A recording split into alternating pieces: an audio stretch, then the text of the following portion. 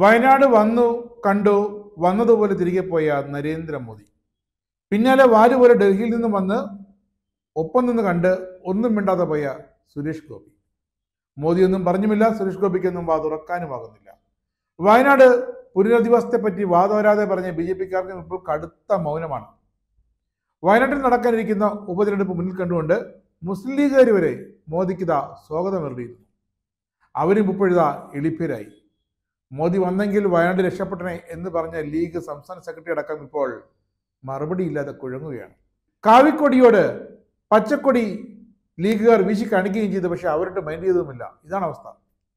ഇതിനിടയിൽ കോൺഗ്രസുകാർ തലങ്ങും വിലങ്ങും പ്രചരണങ്ങൾ നടത്തി നോക്കി മുഖ്യമന്ത്രിയുടെ ദുരിതാശ്വാസ നിധിക്കെതിരെ. കേന്ദ്രത്തിനാകട്ടെ വയനാട്ടിനെ എന്തെങ്കിലും പ്രഖ്യാപിക്കാൻ പോലും ആരോ കൊങ്ങയ്ക്ക് കയറി പിടിച്ചതുപോലെ പല്ലുവേദന എടുത്ത് പാവം നിർമ്മല സീതാരാമൻ തലവേദനയിൽ കുരുങ്ങി അമിത്ഷാ. മോദിയുടെ കാര്യം പിന്നെ പറയുകയും വേണ്ട. അന്ന് തൊട്ട് മൗനവ്രതത്തിലാണ് കൃഷി. ഇതൊക്കെ കൊണ്ട് തകർന്നടിഞ്ഞ് അടുത്ത ഒരു ദുരന്ത അവസ്ഥയിൽ നിൽക്കുകയാണ് സുരേഷ് ഗോപി. അവിടെയും വയനാടിന് വേണ്ടി എന്തെങ്കിലും നൽകണമെന്ന് കണ്ടറിഞ്ഞത് പരമോന്നത നീതിപീഠം തന്നെയാണ്. എന്താണ് മാതൃകാപരമായി സുപ്രീം കോടതി ചെയ്തത്? ഉപഭോക്തൃ കേസിലെ കോടതി ഉത്തരവ് പാലിക്കുന്നതിൽ വീഴ്ച വരുത്തിയ സഹാറ ഗ്രൂപ്പിന് രണ്ട് കോടി രൂപ പിഴ ചുമത്തി സുപ്രീം കോടതി. ആ പിഴത്തുക വയനാട് ദുരന്തത്തിന്റെ പശ്ചാത്തലത്തിൽ കേരള മുഖ്യമന്ത്രിയുടെ ദുരിതാശ്വാസ നിധിയിലേക്ക് നിക്ഷേപിക്കാൻ ജസ്റ്റിസ് ഹിമ കോഹ്ലി ജസ്റ്റിസ് സന്ദീപ് മേത്ത എന്നിവരാണ് ഉത്തരവിട്ടത്. അതുതന്നെയാണ് രാജ്യം പാലിക്കേണ്ട പിന്തുടരേണ്ട മാതൃകയെന്ന് സുപ്രീം കോടതി തന്നെ പറഞ്ഞിരിക്കുന്നു. മുഖ്യമന്ത്രിയുടെ ദുരിതാശ്വാസ നിധിക്ക് വിലയുണ്ടെന്ന് സുപ്രീം കോടതിയും വളരെ വ്യക്തമായി ഇതിലൂടെ ഉദാഹരിച്ചിരിക്കുന്നു. ഇതിൽ കൂടുതൽ കേന്ദ്രത്തിന് എന്ത് സന്ദേശമാണ് മനസ്സിലാക്കാൻ വേണ്ടത്? ഇവിടെ ഉള്ളത് രാജസ്ഥാനിലാണ്. സഹാറ ഗ്രൂപ്പിലെ പത്ത് കമ്പനികൾ പത്ത് ലക്ഷം രൂപ വീതം. ഈ കമ്പനികളുടെ ഇരുപത് ഡയറക്ടർമാർ അഞ്ച് ലക്ഷം രൂപ വീതം.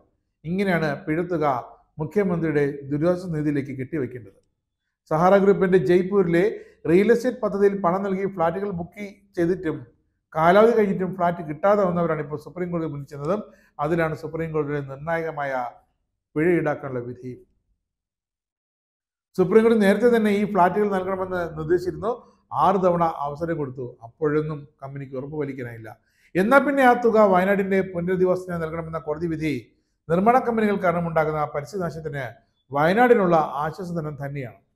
ഉത്തരേന്ത്യയിലും ഉത്തരാഖണ്ഡിലും ഹിമാചലിലുമൊക്കെ അടിക്കടി ഉണ്ടാകുന്ന പ്രകൃതി ദുരന്തങ്ങളിൽ മുതലക്കണ്ണീരൊഴുക്കുകയും ആ സംസ്ഥാനങ്ങൾ ആവശ്യപ്പെടുന്നതിന് മുമ്പ് തന്നെ പാക്കേജുകൾ പ്രഖ്യാപിച്ച് ഹീറോ ആകുകയും ചെയ്യുന്ന കേന്ദ്ര സർക്കാരിന് വയനാടിന്റെ കാര്യത്തിൽ എഞ്ചിൻ നിന്ന പോലെയായി കാരണം വയനാട് ദക്ഷിണേന്ത്യയിലാണല്ലോ. അപ്പോൾ പിന്നെ വയനാടിന് അല്പം അധികം ദുരിതമാകാം എന്ന കേന്ദ്രത്തിന്റെ ദുർസമീപനമാണ് മാറ്റി എഴുതേണ്ടത്. അതിന് പൂച്ചക്കാരി മണി കിട്ടുമെന്ന് ചോദിച്ചാൽ ബി ജെ പി എല്ലാവർക്കും അമിത ഭയമാണ്. അപ്പോൾ പിന്നെ ഇന്ത്യ മുന്നണി അതിന് മുന്നിട്ടിറങ്ങും. എങ്കിലും സുരേഷ് ഗോപി അനങ്ങില്ല ജോർജ് കുര്യൻ മിണ്ടില്ല കെ സുരേന്ദ്രൻ ആവശ്യപ്പെടുകയുമില്ല. കാരണം സുരേന്ദ്രൻ ഇത്തവണ തോറ്റ മണ്ഡലം കൂടിയാണ് വയനാട്. ഇനി ഒരു തവണ കൂടി നിൽക്കാമെന്ന് പ്രതീക്ഷയൊന്നുമില്ല. അപ്പോൾ പിന്നെ അടുത്ത നനഞ്ഞ വളക്കുറലിടം തേടി പോകുക എന്നല്ലാതെ സുരേന്ദ്രന്റെ മുന്നിൽ മറ്റൊരു പോംവഴിയുമില്ല. പറഞ്ഞു വന്നത് വന്നു കണ്ട് ഒന്നും മിണ്ടാതെ പോയവരെ കേരളം കാത്തിരുന്നിട്ട് ഒരു കാര്യവുമില്ല. സുപ്രീം കോടതി കണ്ടറിഞ്ഞ വയനാടിന്റെ വില പോലും കേന്ദ്രം നൽകിയില്ല എന്നതാണ് സങ്കടകരം പിന്നെ സുരേഷ് ഗോപിയുണ്ട് കേരളത്തിൽ തന്നെ. തൃശൂർ പൂരം ഗംഭീരമായി കൊണ്ടാടാനുള്ള എല്ലാ ഒരുക്കങ്ങളും പൂർത്തിയാക്കിയിരിക്കുകയാണ്. കാരണം കാരണം കഴിഞ്ഞ തവണത്തെ തൃശൂർ പൂരം കുളമാക്കിയത് മറ്റാരുമല്ല അത് സുരേഷ് ഗോപിയും കൂട്ടരും തന്നെയാണ്. സുരേഷ് ഗോപി അവിടെ തമ്പടിച്ചു തൃശൂർ തെക്കിങ്ങട് മൈതാനത്തിൽ എത്തിയപ്പോഴാണ് പൂരത്തിന്റെ എല്ലാവിധ അലങ്കോലത്തിനും തുടക്കമായത്. വയനാട്ടിൽ എന്ത് നടന്നാലും സുരേഷ് ഗോപിക്ക് ഒന്നുമില്ല.